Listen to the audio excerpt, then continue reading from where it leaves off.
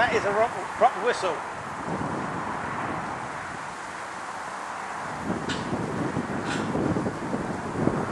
Yeah, it's on the slope. Not moving very fast, is it? Good.